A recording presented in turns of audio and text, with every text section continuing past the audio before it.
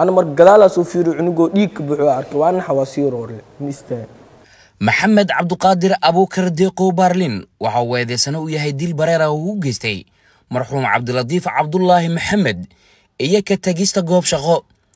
Xanuun gaar ah ayuusan leeyahay kiiskan waana marka marxuumka xabaddu sinta kaga dhacday eedeysanaha dilka geystana uu diday in xitaa loo fidiyo wax gargaara ma dhaafsiisana marxuumka dhintay inuu ahaa ciyaaryahan ka tirsan koox kubadda cagta ciyaarta ciyaal xaafadeed laguna magacaabo saddexda qurac dilkaasi ayaana dhacay lix iyo tobankii bishii toddobaad ee sanadkan waxaana uu ka dhacay degmada dharkeenley ee gobolka banaadir.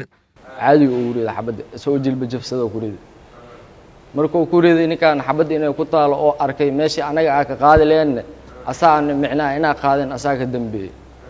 Xabadoona uu sii rida anaga markaa damacna inaa qaadno ninka oo dhaawaca anagoo xabadna uu sii ridaay anagoo ujeedna waxaa ka soo wareegana xalana mataqaanido aa ka soo wareegana anagoo saaxiibkeena ujeedna oo dhaawac soo eh. Mistaaysi haa maya anay dhabanka wax lu weestid nuu sheegaa dhani. Waxaas xabadoo kor u marka xabad markuu kor u tuuri waa roore marka ani. Markaasaa meesha ugu dambeysay marka.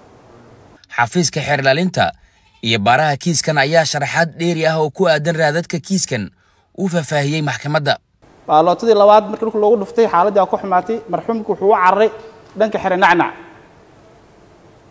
Cabdikariin iyo cabdulle iyo iyo axmedna waxay u soo carareen dhanka xaafadda ee kaabaguday adeedsane abd maxamed cabdiqaadir wuxuu ka dababaxay marxuumkii wuxuuna ku riday hal baalooto. Goobtan waa goob dhinac waxaa kaga yaalo xere nacnac dhinacana waa meel goob yaroo oo ay ku ciyaaraan ciyaalka xaafaddu waa garoono oo meel xaaqan waaye. Marka bartiiyu xabad kaga dhuftay dib uu u soo jeestay. Dhankiina waxaa ka jiro marxuumka dhimo doona cabdiladiif iyo dadkii markhaatata la socodii ehelkii dariska dadkii deegaanka degnaa.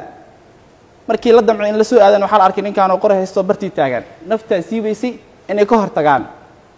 Si toosa siduu baaraha caddeeyey markhaatiyaasha aan soo macnaha horkeennan ay caddeeyeen xabaduu ku riday xabadda waxay kaga dhacday sinta sintana sida la og yahay badanaa meelaha oo badanaa isla marka laga dhinto ama macnaha baxdi ahaan haddii loo gurmado isbitaal la geeyo macnaha la daaweyn kara ay ahaan badanaa meelaha durbo laga dhinta maaha. Haddii madax ahaan leed isbitaalka wuxuu caddaynayaa in uu dhiigbax u dhintay sababta dhimashada ay keentay dhiigbaxaas ay boodada kaga dhacday xabadda marxuumkan wuxuu watay dhar sportis ah saddexda qurac ayuuna ka tirsanaay macnaha tiimkaas oo ciyaartoyda ka howlgasha ama ka dheesha dharkeenley xeer ilaaliya gaashaanle muumin xuseen cabdulaahi ku-xigeenka xeer ilaaliyaha guud ee ciidamada qalabka sida ayaa garsoorka maxkamadda ka dalbaday in eedeysanaha lagu ciqaabo dembigii uu galay.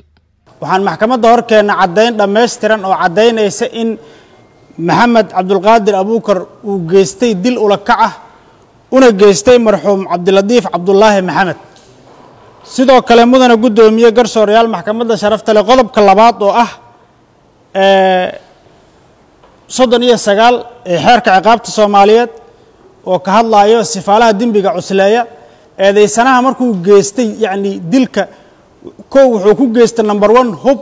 Aan ahayn hubkii uu dowladdu ugu shaqaynayo oo isaga jeebkiisa kala yimid wuxuu yacni dembiga ku galay goobtii shaqada caadiga ee loogu talagalay normalka lagu ogaay meelaan ahaynin markii uu geystay dilkana wuxuu ka hor istaagay shacabkii iyo eheladiisii inay u gurmadaan cabdilatiif oo la geeyo goobo caafimaad sida uu sharaxay xeeraalihii ga horreeyey cabdilatiif waxay xabadda uga dhacday yacni sida caadiga ah la yaqaano meel haddii la gaarsiiyo goob caafimaad oo dhiigga laga xiro uu badbaadi karay. Suuragalheed inuu badbaado boqolkii sagaashan wuxuuse ka hor istaagay in loo loo gurmado la geeyo goob caafimaad. Sidaas daraaddeed wuxuu u gefay qodobkaas oo waxaa maxkamadda horteedaan ka caddaynay in uu la yimid sifahaas. Sidoo kale mudana guddoomiye garsooreel maxkamadda sharafta leh waxaan maxkamadda horteeda keennay qodobka ah boqol iyo afar iyo xeerka ciqaabta ciidamada qalabka sida oo ah ka tigis goob shaqo. Waxaan maxkamadda la wadaagnay warqaddii hoggaanka ciidanka uu qoray bishii saddexaad ee sanadkan kana qoray eedeysanaha inuu fakad ka yahay goobtii shaqadee lagu ogaayay ah shabeella shabeellaha hoose gaar ahaan owdheegle sidaas daraaddeed mudana guddoomiye garsoorayaal maxkamadda sharafta leh eedeysane maxamed cabdulqaadir abuukar.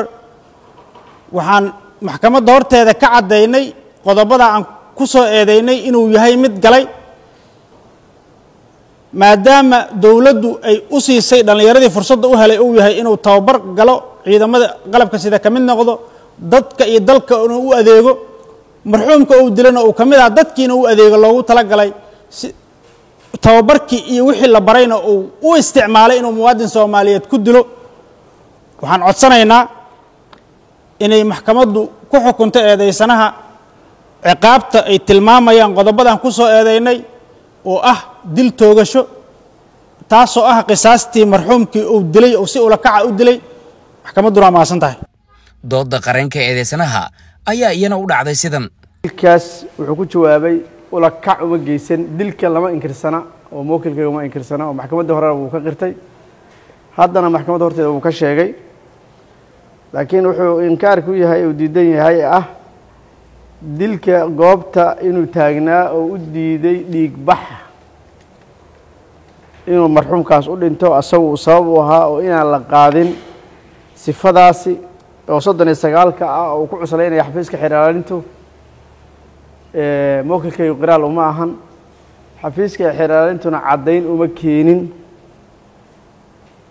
Waxaan maxkamadda sharafta le ka codsanayaa marxuumka dhintay allah u naxariisto ehelkiisana waa joogaan caddayn dheeraada aan ku difaaco oo markhaati iska rogaa maxkamaddu uma haya aniga. Bale saasa maxkamadda sharafta waxaan ka codsanaya maadaama askari uu ahaa dhaawacmay in loo fiiriyo qodobka afartanaad ee duruufaha dembiga fududeeya ee aan loo fiirin qodobka soddon iyo sagaal muwakilkayga eheladiisuna diyaar waxay u yihiin inay marxuumka magtiisa siiyaan oo u qaanabaan say ii sheegeen aabihii iyo adeerkii. Waxay diyaar ula yihiin maadaama dhacday dhacday marxuumkana dhintay inay diyada ay diyaar u yihiin. Maxkamadduna waa mahadsan tahay. Gaashaanla sare xasan cali nuur shuute gudoomiyaha maxkamadda darajada koowaad ee ciidamada qalabka sida ayaa ugu dambeyn fadhigan soo xiray. Garmaqalka dhanka ka ahaa eedaysane laba alifle maxamed cabduqaadir abuukar deeqow. Intaas ayuu ku dhan yahay maxkamadda ayaana go'aan ka soo saarayso. Maxkamaddu waa noo xidhantaha cabdifitaax akhyaar warbaahinta qaranka muqdisho